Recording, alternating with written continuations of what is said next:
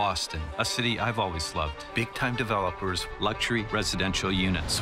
The city that is changing rapidly. Very large machine to displace and move out residents. Seven years ago, I ended up at a homeless shelter. These people are evicted. Where will they go?